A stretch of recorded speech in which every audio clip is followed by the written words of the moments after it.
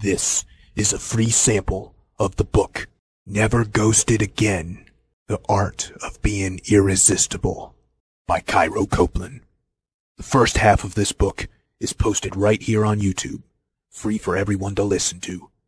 If you like this content and want to hear or read the rest, or want to listen to it free of ads, visit reinventideal.com slash ghosted. The book is available on Kindle, paperback, and Audible at reinventideal.com slash ghosted. Chapter 12 Life of the Party Responsibility for His Own Fun. There are two men at the dance hall. One of them is at first a wallflower, standing on the sidelines, looking at all the beautiful women he'd love to dance with, but he's afraid to ask. Until he sees other random men ask these women to dance and they agree. He decides to follow suit after he gets a little liquid courage in him. He proceeds to ask the ones he likes for a dance, starting with the ones he's least attracted to, hoping to slowly build his confidence up as he progresses to a new level with each try. But this method does not help as he's rejected by every one of them. He goes home without a dance, meeting no one, only to continue drowning in liquor alone. But the other man has a different response. He didn't stand around and wait to make his move. He asked the woman he was attracted to the most for a dance right away, and he was still rejected, but didn't let that stop him. And after he was turned down by all of them, he went right to the dance floor and busted out his best moves all by himself. He may not even know how to dance, probably even made a fool out of himself, but doesn't show a shred of self consciousness, and is not phased one bit by the onlookers' laughter. He's having a good time all by himself.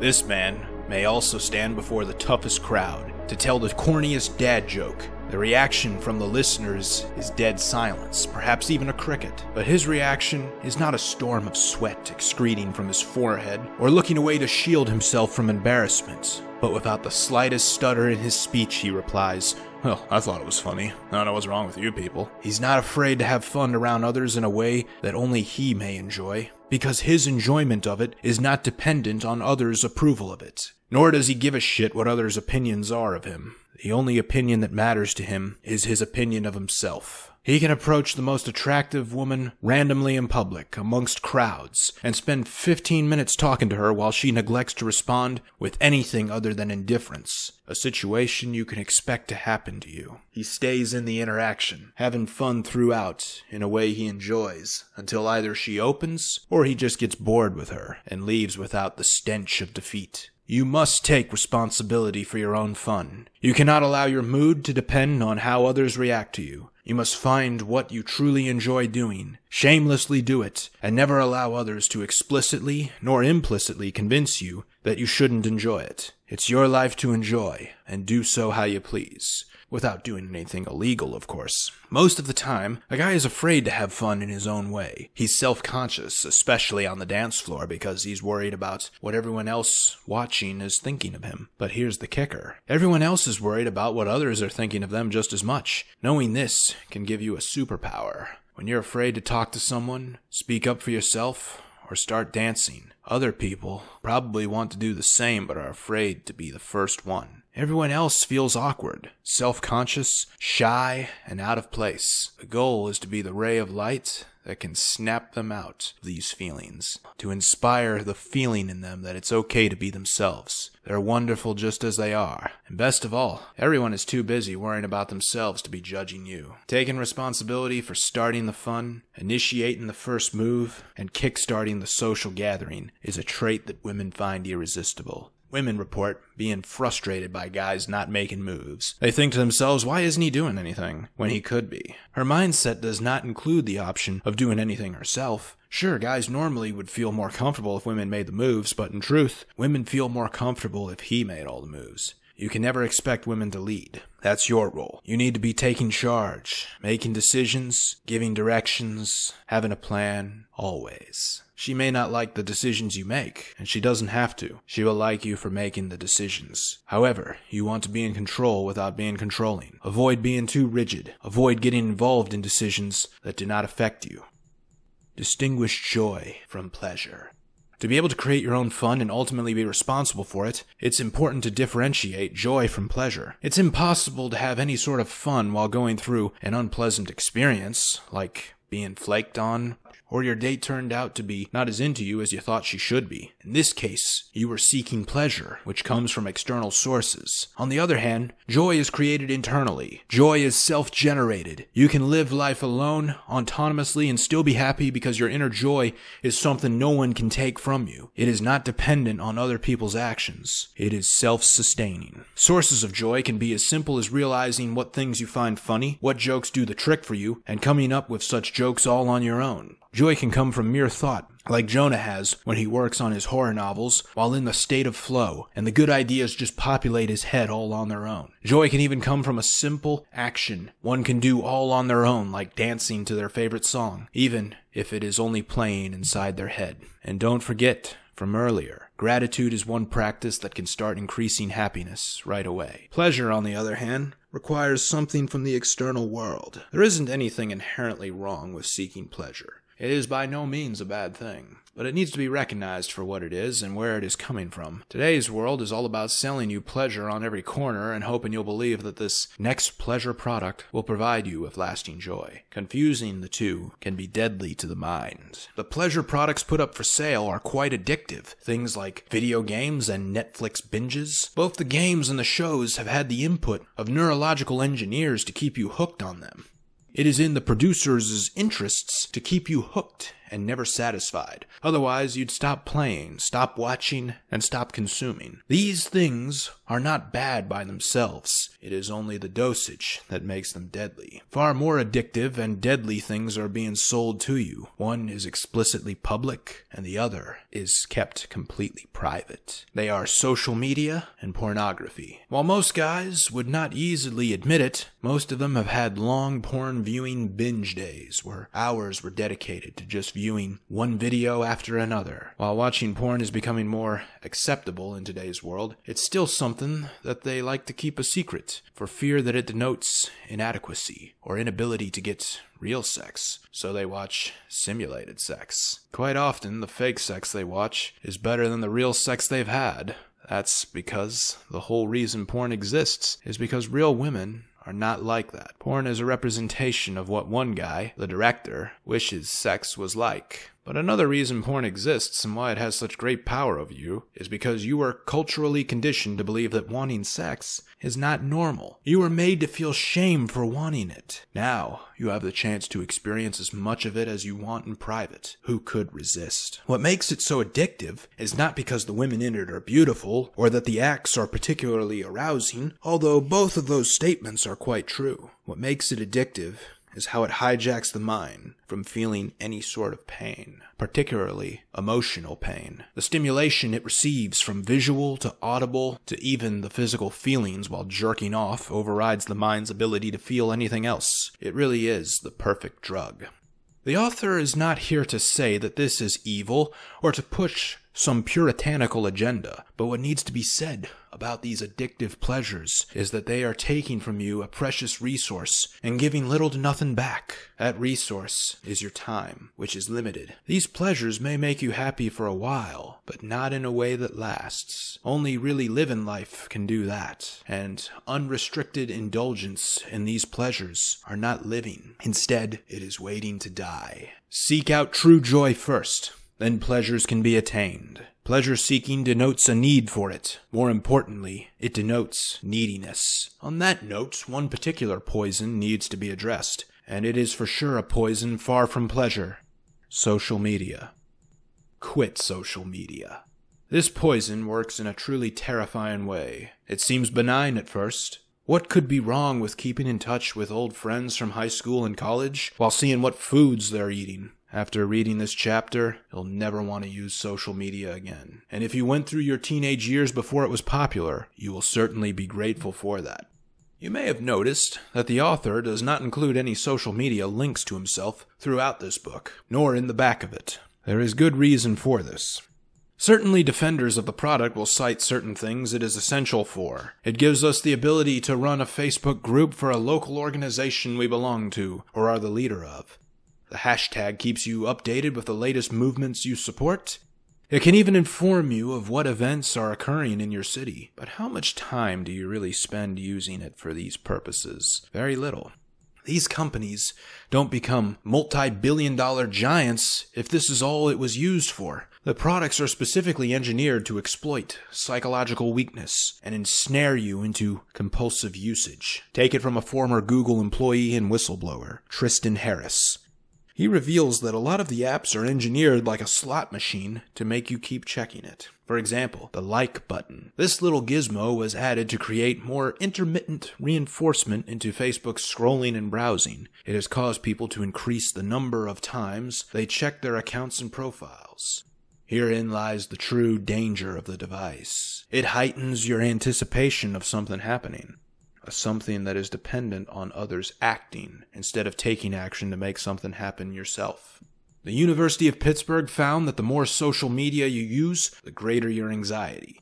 And it's not about the amount of use of it, but rather the fact that it is social judgment in public, a quantitative count of other people's approval. Once that approval is awarded, new reward pathways in the brain are fired up, creating a good feeling. But if those reward pathways are not fired up again, it's like taking drugs away from an addict. And the social media companies purposefully do this. You may have noticed some posts getting more likes than others. That's because they control who and how often your friends see what you post. The point of this control is to make you post more and constantly spend more time on the platform. You have one successful post. The next one is not as successful. So you wonder, am I still relevant to my friends? Do I still matter?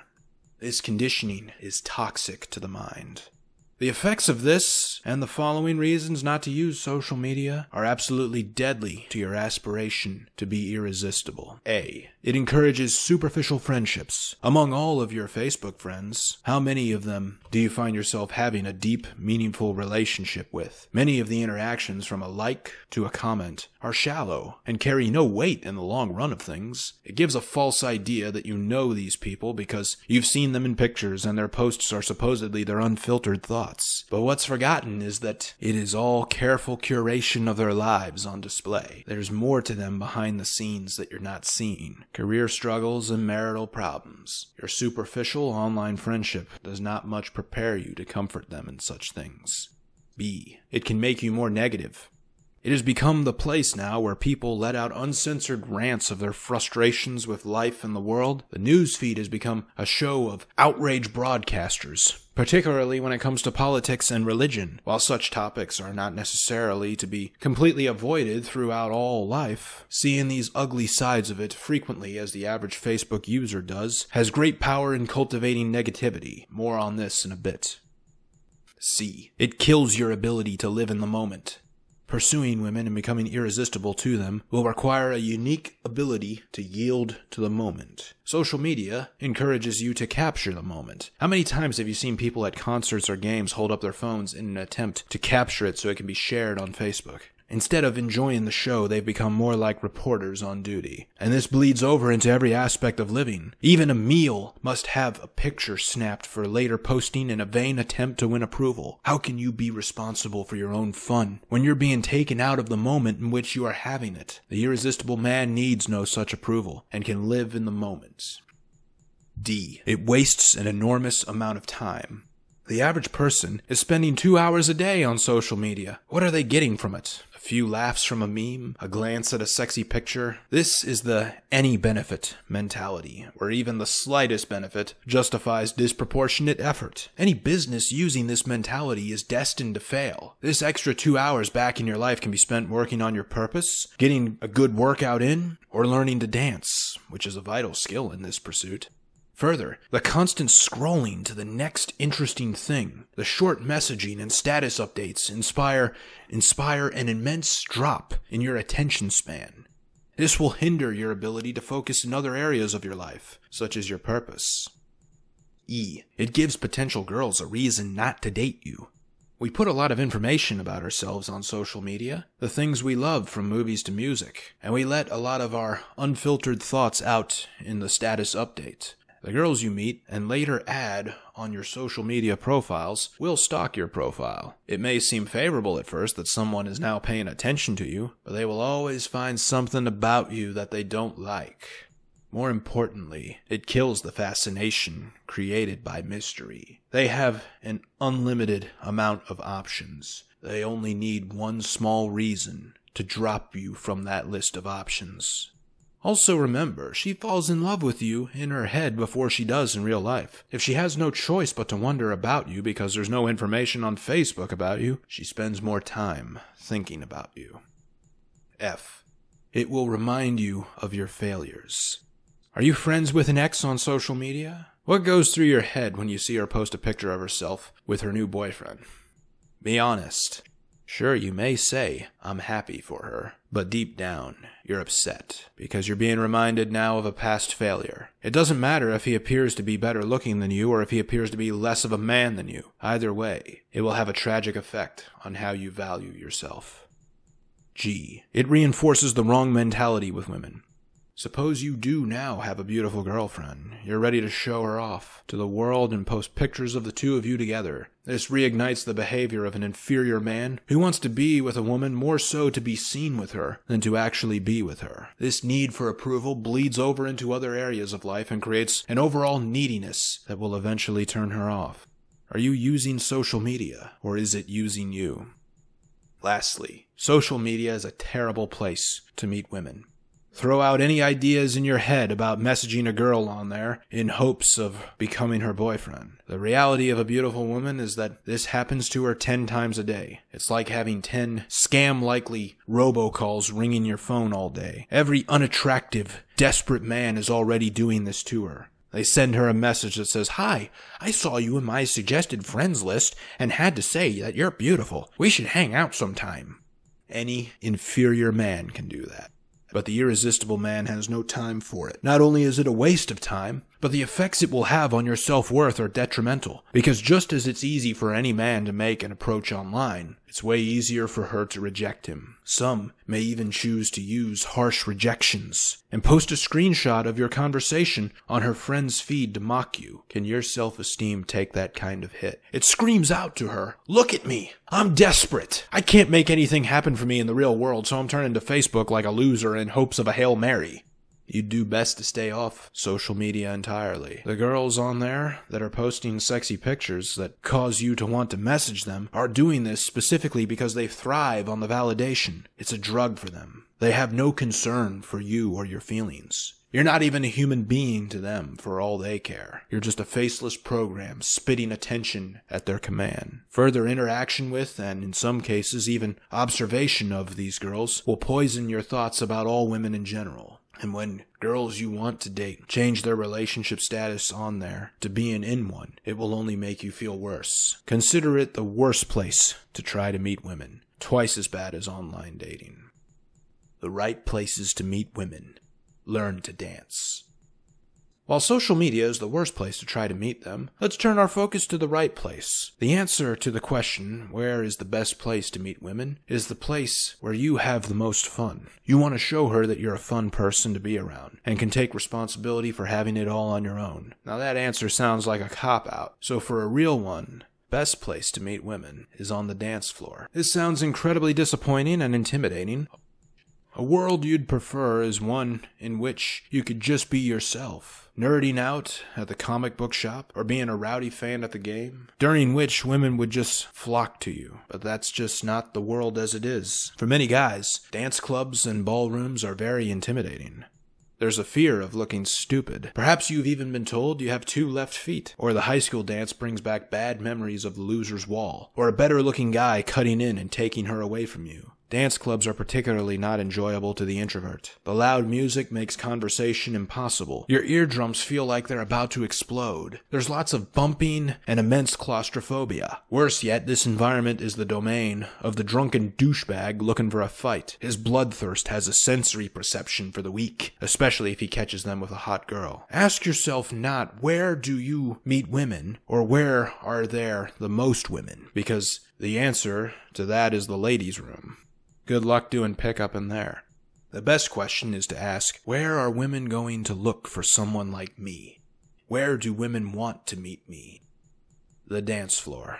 You take tremendous risk attempting to dance. If you do it badly, it signals to women that you are a bad partner to mate with. So says science. On a subconscious level, it is telling her that your testosterone is below average and cannot muster up enough to give her babies. This is particularly true of the dancing dad that no one finds attractive. but rather laughs at and to a certain extent feels sorry for. Attraction cannot exist side by side with these feelings. But the irresistible man can dance and dance well. Women find it unbelievably attractive. Not so much because you know what you're doing, but rather because it shows you're a fun loving person that can navigate through challenges. You can literally think on your feet. When we look at life, a metaphor used for it is that it is often a dance. That's because life is a game of no rules that you're expected to win, but not told how.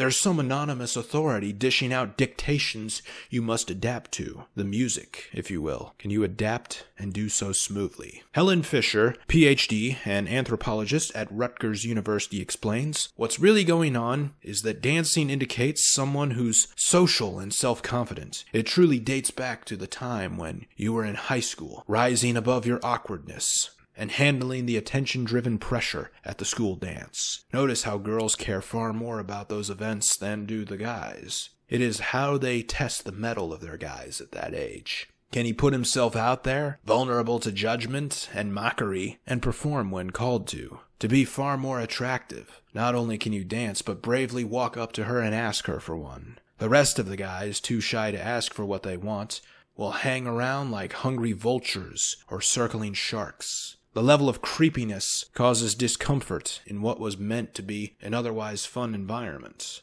But one brave enough to ask for her hand in a dance saves her from such discomfort. It can almost be said that once you've made this move, you've already won. Then during the dance, if he can continue to prove himself, she can't help but give in to his charm. To be able to bust the moves, skill is required, and showing that you took the time to learn something shows you have a high degree of self discipline. It's even a bonus that it's something she can relate to. Subconsciously, it tells her that this man is someone that's presentable. He can conduct himself in a non-verbal way and knows all the right moves to make. It is no secret that women love attention.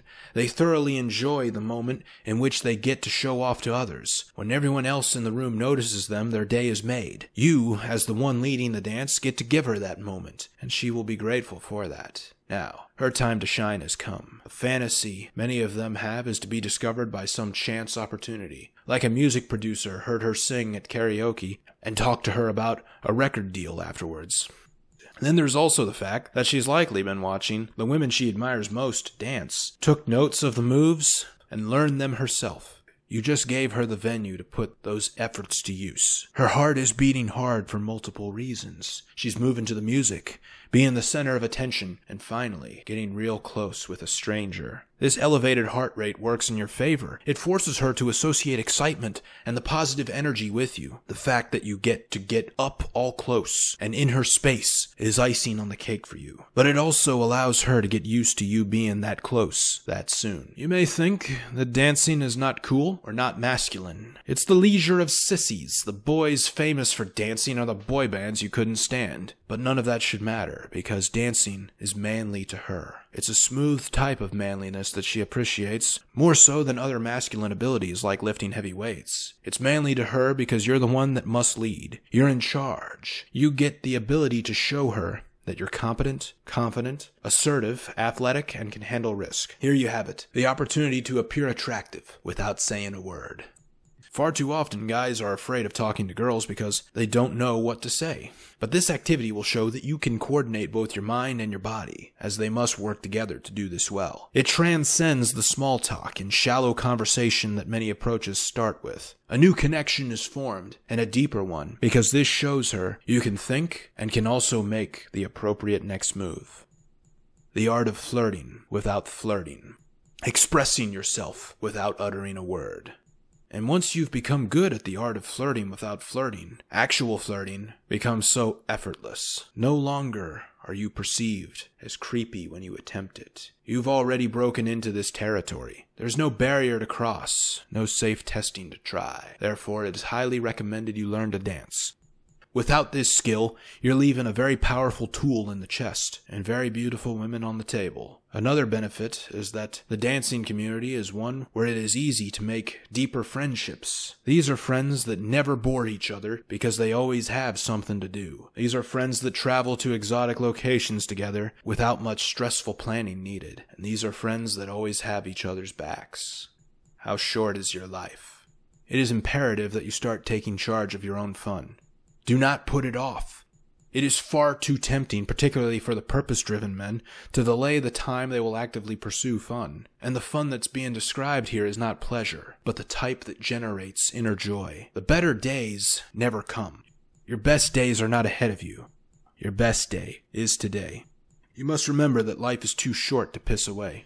How short is it? Suppose you do manage to live to age 90. That's only 32,850 days. Are you making each one of them count? Even worse, if you're 30 years old, you have only 21,000 days left. Do you want to waste a single one of those days scrolling through a social media app that's making you miserable? Do you want to waste it looking at porn or playing a video game that's only good in the moment? Do you want to waste it pursuing that one girl? Money comes and goes. Women come and go. Pleasure comes and goes. Time goes and is gone forever. Those other things are not scarce, but your time is. When making decisions, factor into them not just the money, effort, and emotions that need to be spent. Give the highest weight to the amount of time that they will take. On that note, when things are not going the way you want them to, just leave. You have no obligation to make sure others are having fun if you're not. Remember the story of Jonah and Christina and their beach day. The right move that Jonah should have made was to just walk away. He should have just said, You know what, Christina? It was nice to meet you, but this isn't what I had planned for today. I've got other things to do, so I think I'll tend to them. Have a good day.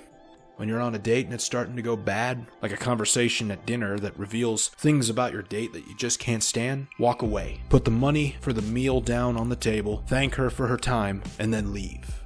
When you show up for a date and the girl is not what her pictures promised her to appear as, walk away.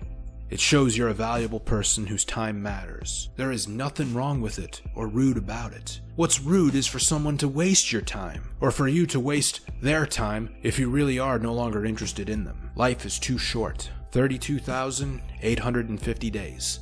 The irresistible man knows this.